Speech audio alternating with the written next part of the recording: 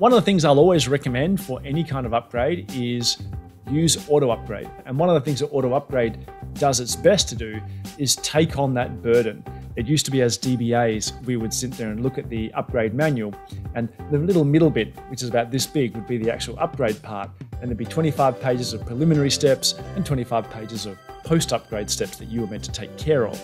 Auto Upgrade tries to consolidate all that into the actual program itself.